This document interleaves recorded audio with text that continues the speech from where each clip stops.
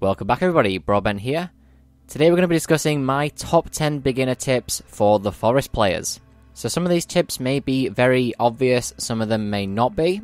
I made this list based on things that I would have appreciated knowing when I first started playing the Forest. So without further ado, let's get straight into the list. The first one's extremely obvious and simple, but if you build a bench and sit down, you can use that to restore your stamina.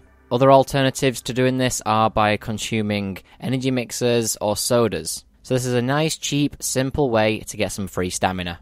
So these next two points are going to go straight towards hunting because it's something you need to do at the very beginning of the game. So number two is spears are a one-hit kill to deers. Now it will take you a little bit of practice to get used to with the aiming and all, but once you've got it nailed, it's a very easy hunt. Deers are also very useful because one kill gives you a full inventory of generic meat. It will also give you some deer skin which you can use for cold protection if you're going into the north. Number three, so rabbits are probably one of the most essential things at the very beginning of the game. It's used for a lot of stuff with crafting, such as the pouch, stick bag, rock bag. All of those you could do with early in the game. So, an easy way to kill rabbits is by using these small stones. Now, I wish I knew this right at the beginning because this would save me a lot of time chasing rabbits. Basically, all you have to do is aim the little reticle where the rabbit is and then just click throw.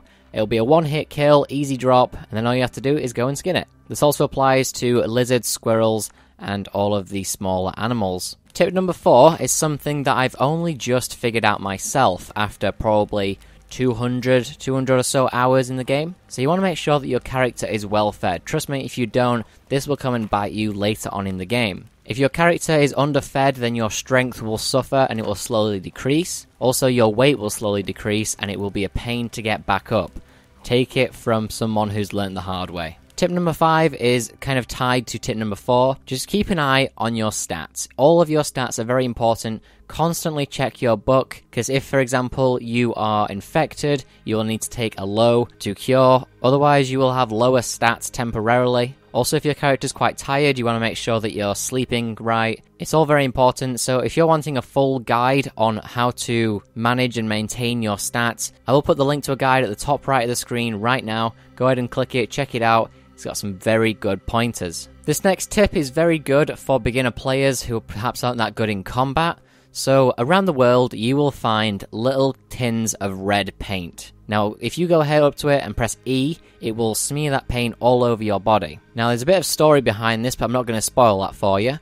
Basically, the cannibals will look at you with a red paint and think twice about attacking you. Sometimes they will kneel, sometimes they will just run away. However, take note that they can still attack you, it's just they've got a less chance of doing so. It's really good if you're trying to focus and get on with building something and you've got a bunch of cannibals attacking you all the time.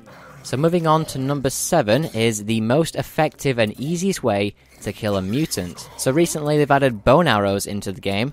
You can craft these using 5 feathers, 5 bones, and 1 stick. And in normal mode, it should take only around 8 arrows to kill an Armsy. And they're really easy to fire, they're really quick. It's a nice way just to defuse a hot situation.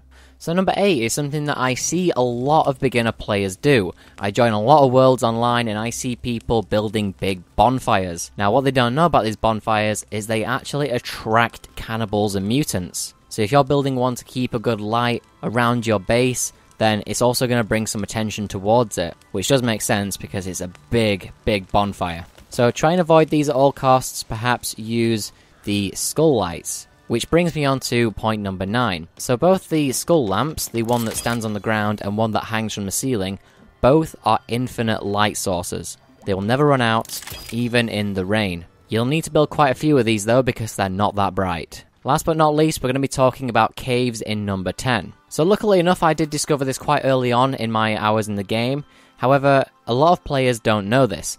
So, when you're first joining the forest, you will feel quite scared of the caves. You don't want to go in there, you don't know what's down there, you don't know the layout. It's dark, it's dreary, you don't like it. But they do have a sweet side.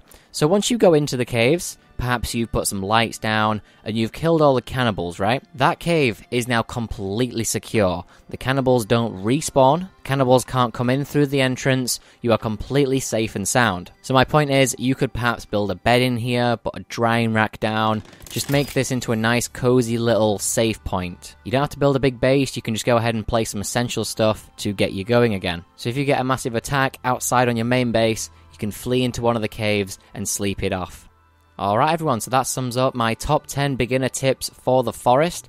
All of these tips I really wish I knew when I first started playing, it would have made my life a lot easier. So if you did enjoy this list, please be sure to press the like button. If you've got any other video suggestions like this list that you would like to see, please be sure to comment them right below. Thanks for watching everyone, and I will catch you in the next video.